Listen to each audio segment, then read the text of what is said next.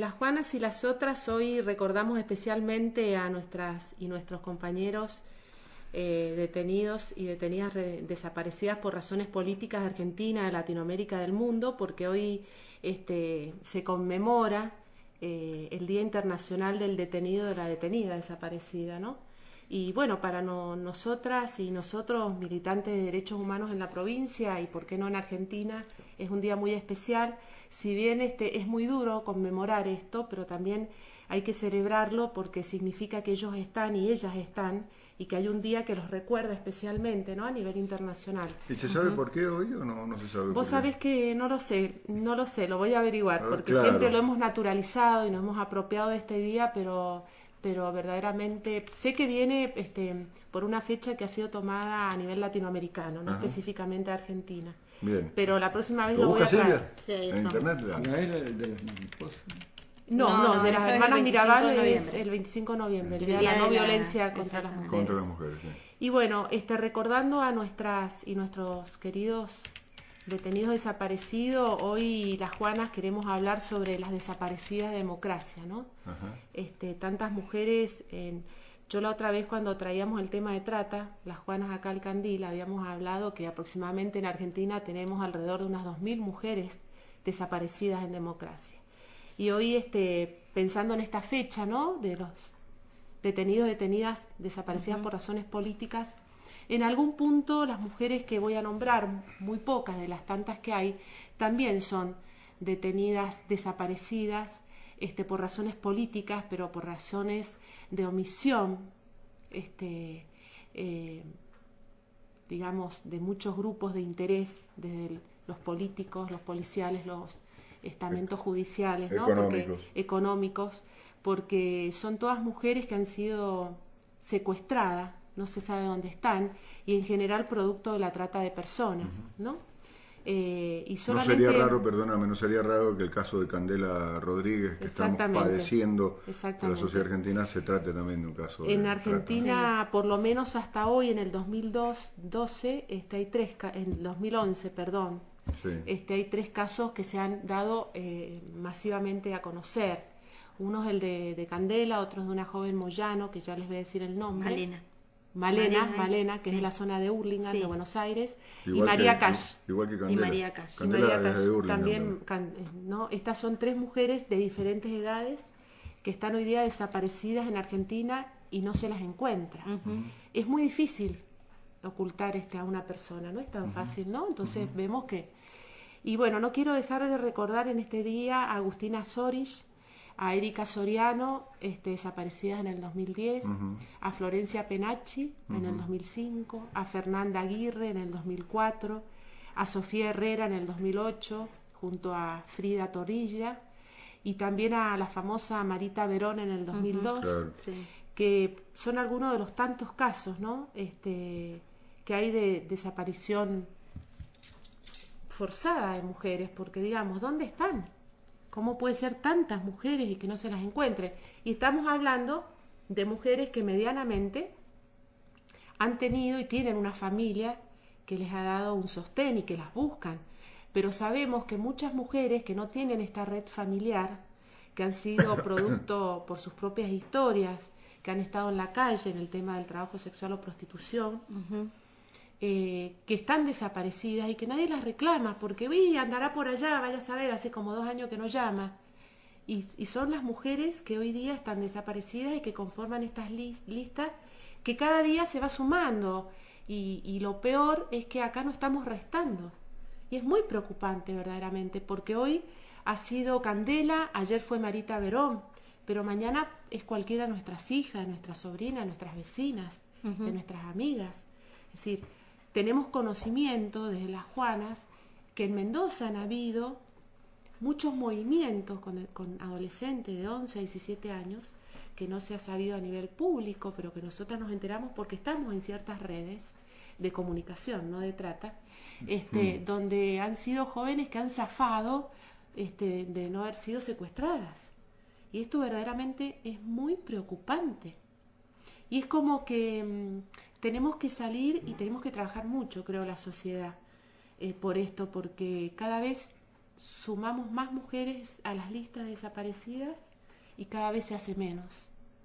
Sobre todo, eh, hoy pensaba cuando veía en televisión, sobre todo la movilización, la Fuerza de Seguridad, la Policía de la Provincia de Buenos Aires ya tiene distribuidos con Interpol y todo más de 5.000 agentes, pero va a ser muy difícil recuperarla a esa chica si la sociedad no, no colabora. A ver, cuando yo digo colabora, me refiero no solamente a que diga si vio, si escuchó, que en realidad ese es el asunto, porque no se puede, no se la tragó la tierra a la nena, eh, a la criatura, sino por la otra pata de esta historia de la trata de personas, que es el cliente. ¿Mm? Exactamente. Este es la, esta es la, otra pata tan este, complicada. Sí, claro. Por supuesto. Cuando vos hablas y le das una connotación a, alguna de las apariciones desaparecidas de tipo político, y mencionar las corporaciones, policía, judicial, poder judicial, etcétera, etcétera, este, eh, de alguna forma me viene el recuerdo aquello de la época de, de la AAA y el Mendoza Alcán, Santuchones, que se mataba con Pío XII. La, la, Pío XII, ¿no? La Pío XII. Y, y, mataba y tiraba ahí en... Exactamente. En la zona de papagayo, todo me parece así. No, no, no es como... En, eh, estás acertando. Más cerca, me pide, más cerca el micrófono. Estás acertando cuando le da esa connotación, ¿no? Tipo político. Sí, hablando del tema del cliente, eh, sabemos, digamos, la, quienes militamos el tema de género, que en el caso de las niñas o las adolescentes, eh, en las redes de trata son como las más cotizadas, por decirlo de alguna manera. Eh, porque bueno, a los clientes les gustan si son vírgenes, por ejemplo. Sí, por la perversión, digamos, por la perversión que, existe en el ser humano. Eh, exactamente. Es verdaderamente. Es tremendo. Ah. Y bueno, mm, tuve, la posibilidad en, un coloquio en San Luis estar con la mamá de Marita Verón y, verdaderamente es una impunidad absoluta porque ella... Susana Trimarco. Susana Trimarco, exactamente. Susana, una mujer muy luchadora, luchadora y de, de una personalidad muy fuerte, una mujer que no se ha quedado sentada, ¿no? Eh, y realmente ella llegando al prostíbulo en La Rioja donde la tenían a Marita y, tres horas antes había, había llamado la misma policía que iba a haber un allanamiento, ella cayendo con los fiscales y sacándola a la hija por la puerta de atrás. y esto no es un invento de ella, sino que chicas que estaban en ese prostíbulo se lo contaron. Es decir, que acá eh, hay una realmente un pacto silenciado. Me dejan decir una cosa de, respecto de, los medios, del, rol de los medios de comunicación, así como hoy están todos los medios de comunicación privados y públicos eh, involucrados en la búsqueda de Candela Rodríguez. Eh, a mí me parece, esto es una opinión absolutamente subjetiva, que se ha hecho demasiado hincapié en las, algunas características de la víctima, de la chica, que tenía 11 años, pero ponen este, parecida de 13 o 14, entonces ponen fotos de la chica más o menos producida o con poses, este, posturas más, este, entre comillas, provocadoras. ¿Y eso qué genera? ¿Qué, qué supongo yo que genera o qué este, eh, se me ocurre que puede generar? Es que eh, decirle a la vecina del barrio o que la vecina del barrio diga cuando sale a barrer la vereda con la otra, y viste, no hay que vestir a las chicas tan provocativamente. Entonces las víctimas empiezan a ser eh, juzgadas. Este Exactamente, esto tiene que ver, bueno, con, los mitos propios, los prejuicios y los estereotipos sexistas que existen, ¿no? Las mujeres, porque vestimos de determinada forma, podemos ser eh, putas, podemos ser viejas verdes, podemos ser este, vírgenes, eh, podemos ser desastrosas, eh, una joven con todo su esplendor, este, propio también de su desarrollo hormonal. Sí, está buscando que la violen. Le está buscando que la violen y ya tiene, digamos, ya está ocupando esos, este, digamos, nichos que nos han, nos han predestinado ya, ¿no? Y esto se ha dicho mucho sobre esta joven porque esta nena pareciera ser que se la está confundiendo eh, con una nena que estuvo en Tinelli, ¿no? En la época que Tinelli hacía bailando por con los, con los niños. Y parece ser que esta, tal vez Candela haya sido una de esas postulantes que se presentó en el programa y esto hace que como ha sido manipulada como un objeto sexual infantil, podría haber sido captada por las redes de trata. Bueno, tiene que ver con toda la deformación que, eh, que se hace en los medios para no ir a lo central. Que lo central es que es una niña de 11 años que ha sido secuestrada y que el poder político, policial, tiene que responder ante esta desaparición. No nos tenemos que acostumbrar, nos estamos acostumbrando demasiado en Argentina a que desaparezcan niñas, jóvenes y adultas y acá no ha pasado absolutamente nada.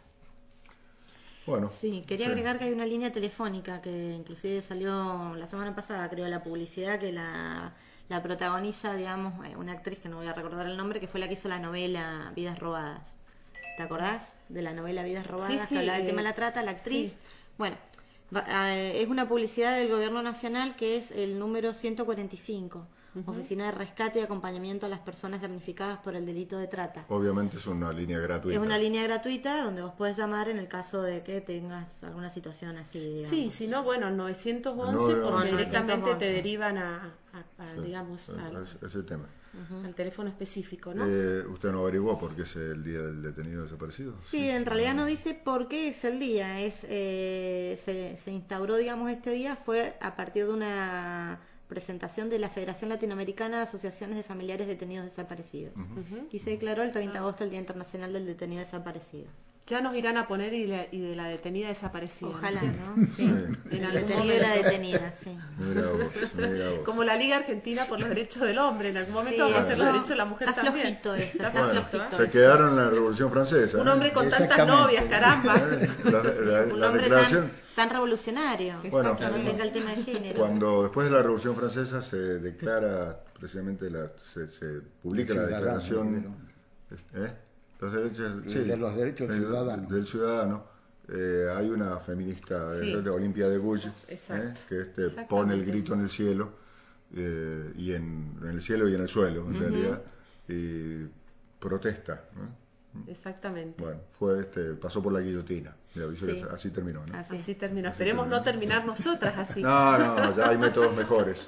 Ah, bueno, Ahora hay guillotinas sutiles. Claro, Exactamente. guillotinas Diarias, diarias. Diarias, Hay guillotinas. cotidianas. Bueno, adelanto, ya que está eh, de- Sarita acá, adelanto que eh, voy a tener el honor de compartir con Sara Gutiérrez la presentación de Sandra Russo en el marco de la Feria del Libro de Mendoza, el sábado 10 a las 6 de la tarde en el Teatro Independencia, con la misma característica de la presentación de Feynman, así, sin, sin tener que reservar nada, hay que ir y cuando se llena la sala se cierra y el que queda afuera queda afuera, digamos, ¿no? por razones, obvias razones de seguridad. Pero bueno, que integrante de las Juanas y que ella, que sea Sarita, sí, para mí, wow, este, Sí. golazo, Y- digamos. Bueno, que nos comentaba gracias. Sara que era que es un libro la presidenta de género.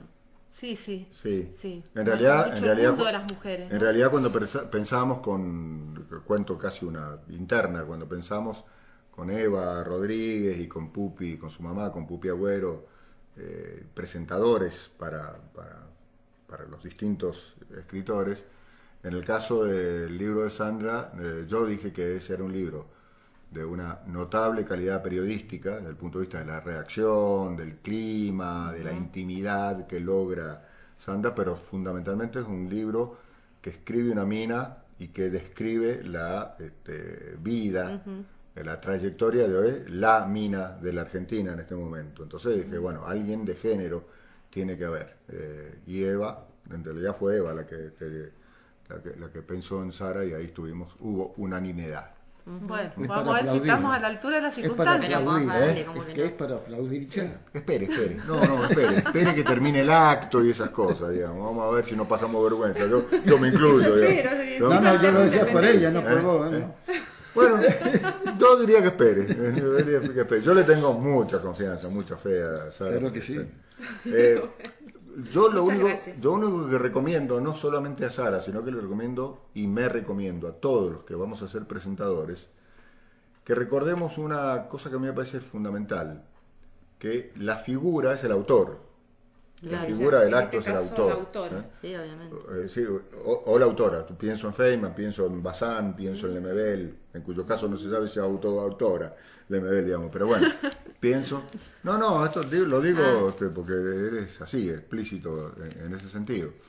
eh, si es como yo lo vi en Chile, va a venir hasta disfrazado. Ah, sí, porque hace este, pro- performance. producido de mujer, Ah, claro. Eh, digo porque eh, la experiencia, mi experiencia, no solamente en Mendoza, pero sobre todo en Mendoza, es que los presentadores suelen ser o pretender ser la figura de la presentación. digamos. Y es realmente un honor, una cosa maravillosa estar sentado eh, en, en un escenario al lado de Feynman, al lado de Bazán, al lado Sí, de, la verdad de- que lo- los de Elsa, de Elsa Drukarov, al lado de, de- de Sandra Russo y, Ah, de todo. Pero en realidad este, es de, somos los anfitriones. Sí, de hecho de- la gente de- va a ir a escuchar a Ah, Sandra. figura, sí. claro. Entonces este, va a haber que este, apurarse, ¿eh? En todo caso. Eh, bueno, Bueno, eso. nos vemos. Nos vemos Nos ahí. escuchamos en 15 días. Sí, nos escuchamos en 15 días, de todas maneras este, nos veremos ahí en la feria. De todo, per- perdón, una última, porque vos sos parte No, la, pe- la penúltima, porque vos te toca la- Bueno, actuar la próxima. rato. Vos sos parte de la organización, según me dijiste. Sí, sí, vez. Bueno, efectivamente. Y resulta que he averiguado que no hay un solo sector a- apropiado para los organismos de derechos humanos. ¿Cómo que no? El proyecto me dijo este, la compañerita, ¿cómo es? ¿Cómo de la Santa, ¿A que qué se llama Virtud. Virtud, ¿cómo? ¿Qué- qué No, dice que va a haber un tablón nomás, qué sé yo, ahí, para que pongamos algo. Yo acabo de escuchar en la radio que vamos a estar en la Biblioteca San Martín. Exactamente. Sí, pero ahí en la, en la calle, cuando llueve, cuando No, frío, no. cuando, no sé, No sé dónde nos han No sé, este, a ver, para que quede absolutamente claro cuál es mi rol en la organización. Mi rol es invitar autores. Te invito.